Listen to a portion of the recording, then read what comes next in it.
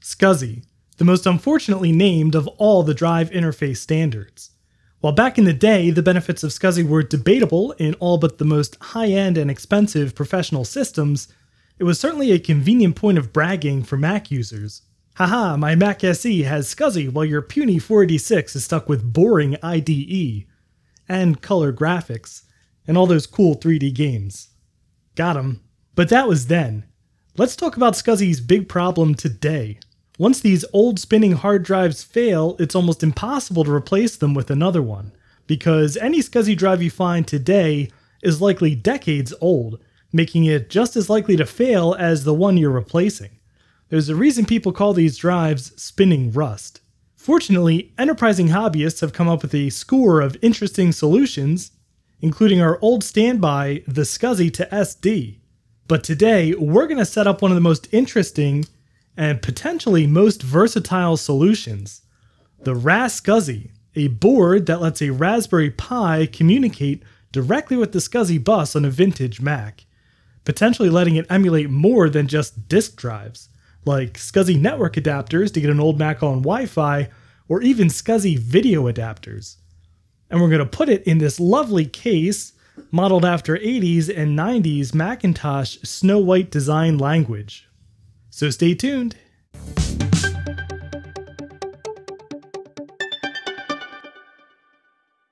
And if you enjoy these kinds of vintage Mac shenanigans, I hope you'll consider subscribing to the channel. There's a lot of cool projects in the works, and it's definitely worth sticking around for.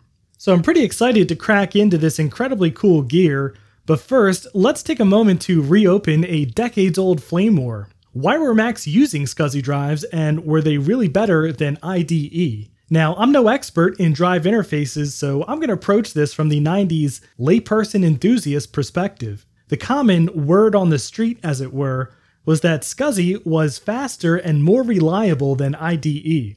And that's why high end computers like Macintoshes used it, while bargain bin PCs settled for IDE as a cost cutting measure. But is that actually true?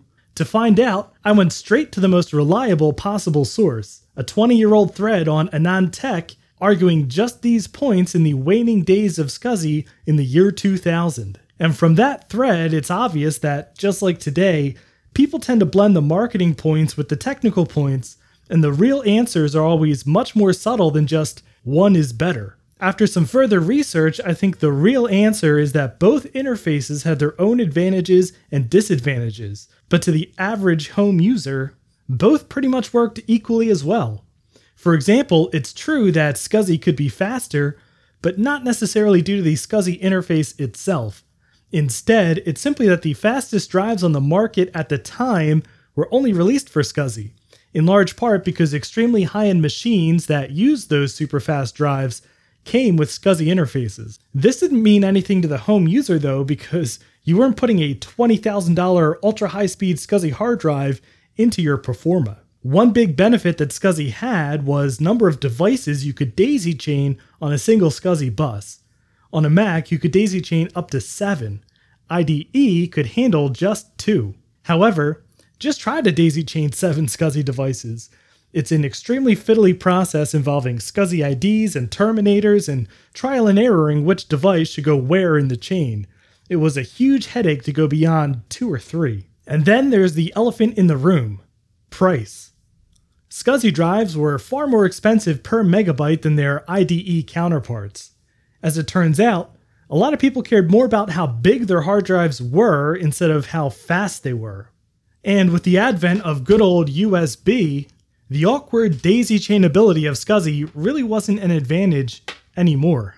So SCSI faded away in the early 2000s in all but a few specialized areas, it does live on today in fast server hard drives called SAS, which stands for Serial Attached SCSI.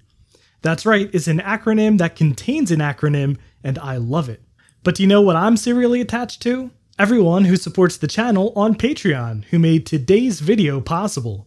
Thank you so much for all of your support over the past year or so. You really make all of this possible. And if you'd like to support the channel and help source old machines and the incredibly hard to find upgrades to max them out, check out patreon.com slash actionretro. And now let's build a raspberry flavored SCSI device. So I've bought the pre-assembled RaSCSI board by Lando Griffin on Tindie. It's also available as a kit, but these Hulk hands aren't very good with the surface mount soldering that some of these chips require. It connects to a Raspberry Pi via the GPIO headers, which lets special software on the Pi communicate directly with the SCSI bus. You can use it internally in a computer via a flat SCSI cable that plugs into this connector here, or you can use the DB15 connector to connect it via a SCSI cable, which is how we're going to use it. It also comes with handy stuff like switches for SCSI termination, soldering points to attach an activity LED, which will come in handy in a bit, and you can even add a second DB15 connector with an expansion board that plugs into the socket up top. And we'll be pairing it up with this Raspberry Pi Zero W, so we're going to have to solder some pin headers on. But if you think about it, this is actually kind of a hilarious setup. This tiny USB powered Raspberry Pi as a computer is many, many times more powerful than an old Mac. This has a 1 gigahertz processor and 512 megs of RAM. And we're basically going to use it as a peripheral to machines in the double digit megahertz. And to hold all of this cool stuff, we've got this beautiful case designed to look like 80s and 90s Macintosh Snow White design language. And it's just incredible.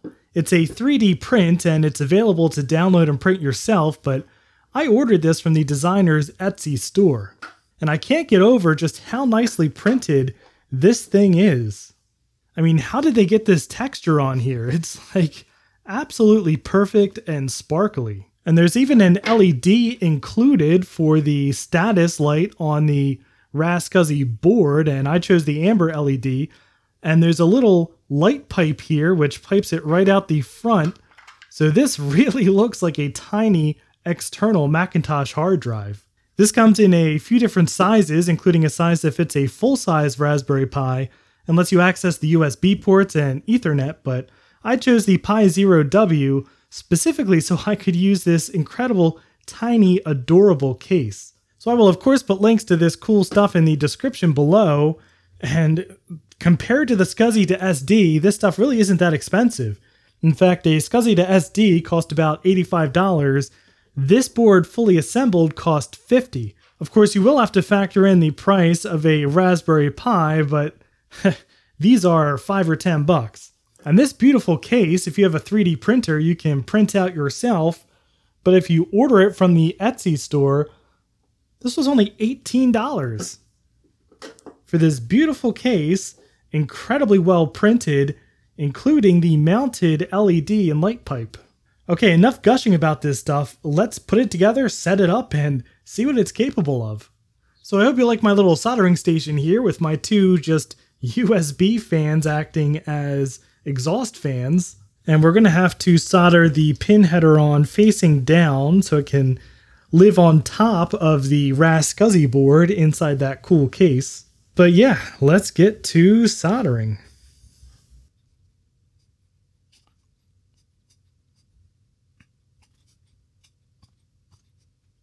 Well, I never claimed to be good at soldering, but that'll get the job done. And to power the activity LED, I'm going to borrow this cable from this horrible old super loud fan. And then for the activity LED, I'm going to solder this little two pin header right here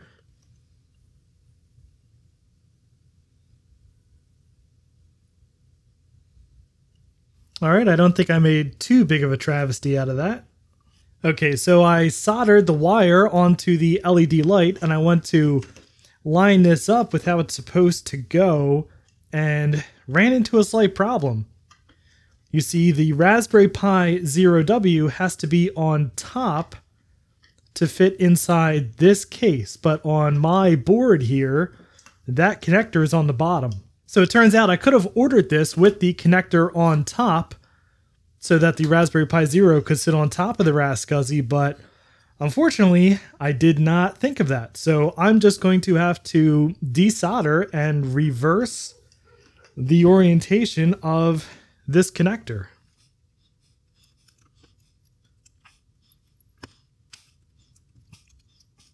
Okay, so I've reversed the orientation of this header here, which was kind of a pain to do with solder wick, and I've also removed the header here, which is for the optional OLED screen, which is cool, but I may have uh, accidentally melted it a bit with the hot solder wick.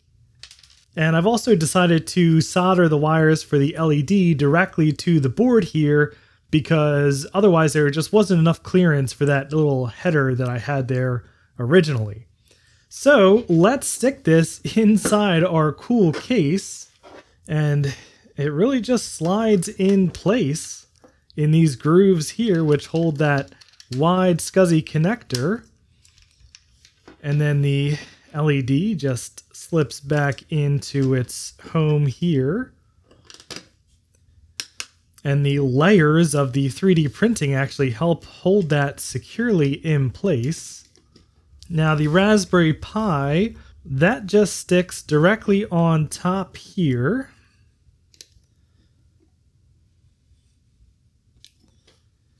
And then it actually gets power directly from the RaSCSI board, so we only need the one micro USB port on the side.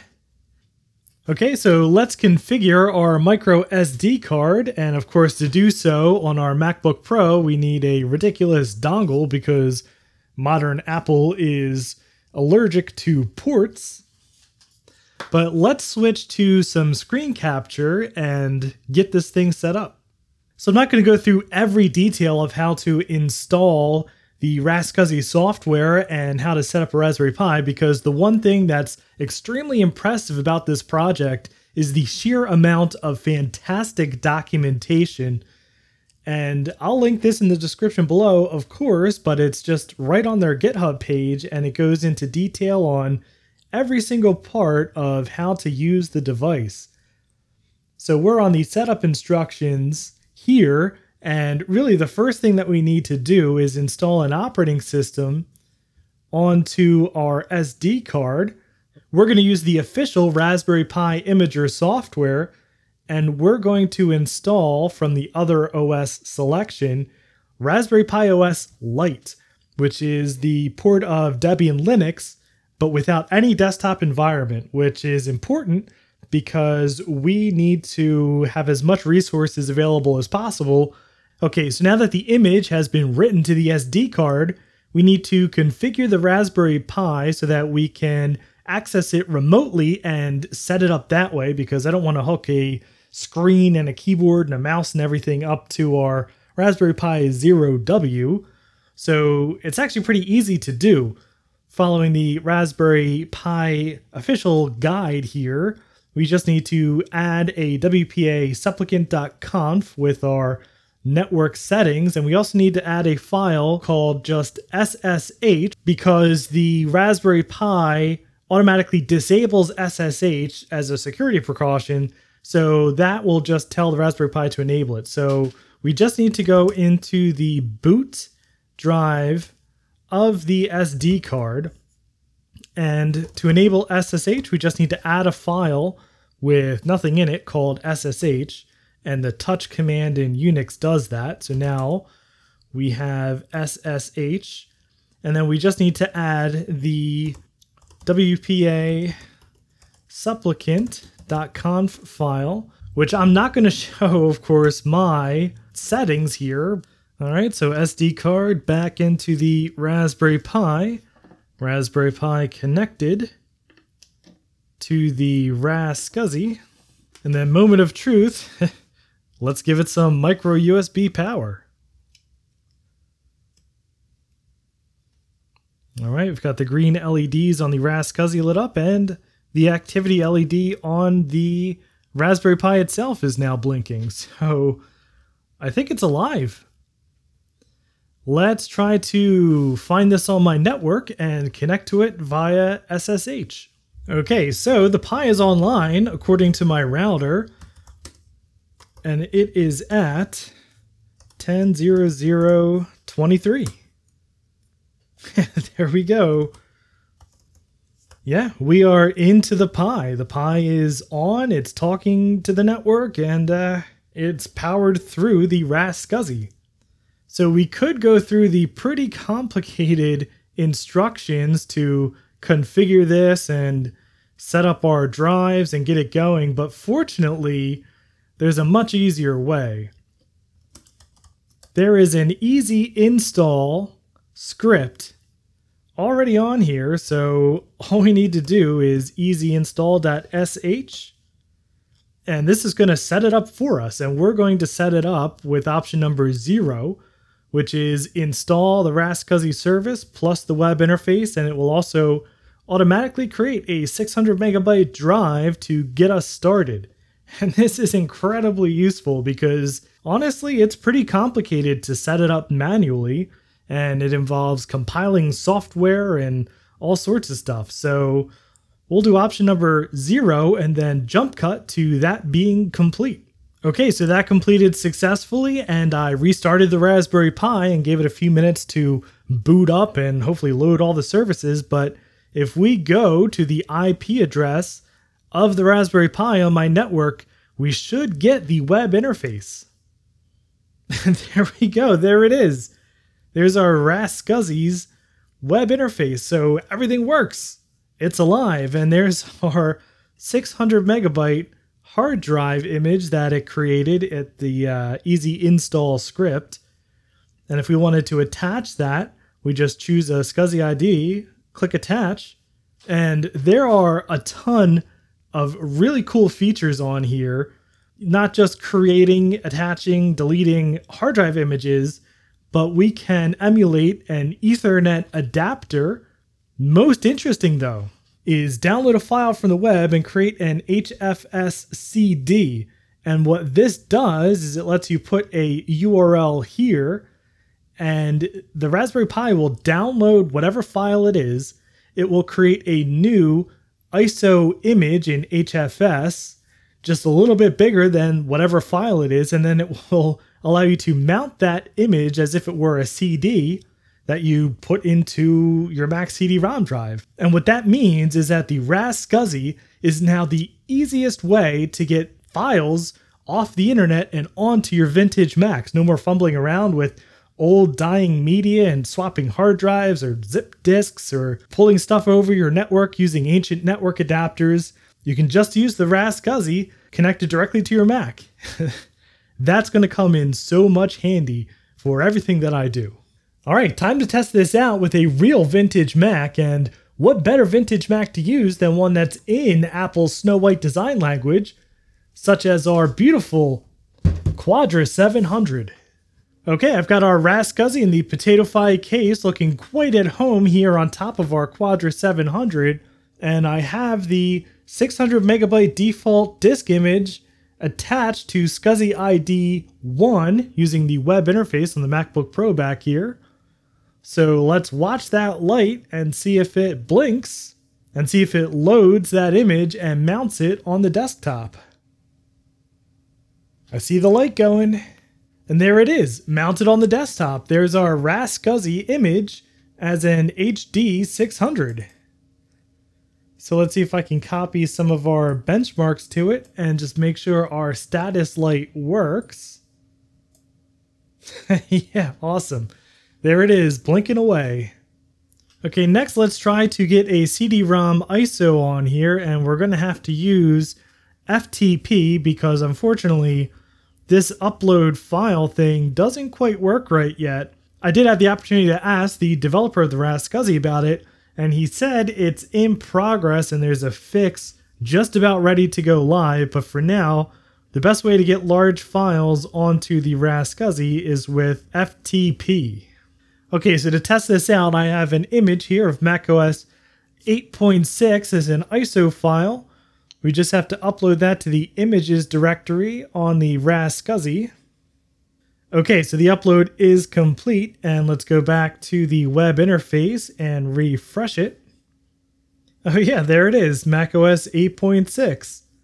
Let's attach it to SCSI ID 2 and see if it comes up on the Quadra. Okay, so it did not come up on the Quadra, and the reason is the Apple default CD-ROM drivers don't work with the RaSCSI. I need to actually get something like the Sunrise drivers or one of the third-party drivers. So let's see if I can do that real quick. Okay, I've downloaded and installed the Sunrise CD Driver 2.2c from vintageapple.org's Mac Drivers section, which is an excellent resource for this kind of thing. And I've restarted the Quadra, so let's try to mount macOS 8.6. there we go, there it is. macOS 8.6 mounted by the CD Sunrise driver with that cool CD Sunrise styled icon with the little palm tree in there. That's a very nice touch. That is awesome. All right, let's eject that. And I want to try the download a file because that is honestly the coolest feature here. So let's do a search for Jurassic Park Quadra. All right, there's our hero Dennis Nedry. Copy image link. Let's download and create an HFS CD of just that image and see if it mounts on the Quadra. Alright, so it did mount on the Quadra, but for some reason this disk is unreadable by this computer, so it would appear that this functionality doesn't quite work. One of the real cool things that we can do, we can use a browser even as old as Netscape 2 here and connect to the web interface of the RaSCSI. That is incredibly cool. So we can control everything about the RaSCSI from the vintage Mac. And of course, it doesn't look as nice as it does on the new MacBook Pro, but who cares about that if it works? Okay, so that'll do it for this look at the RaSCSI and the beautiful PotatoFi case for it, I can heartily recommend both of these things. I bought them with my own money and I absolutely love them. Now, the RaSCSI is very much a project in progress, but it is definitely far enough along to have quite a lot of utility and cool features already. And the potential is just absolutely incredible because they can, in software, emulate any kind of SCSI device and not just stuff from Macs, but any computer that has SCSI.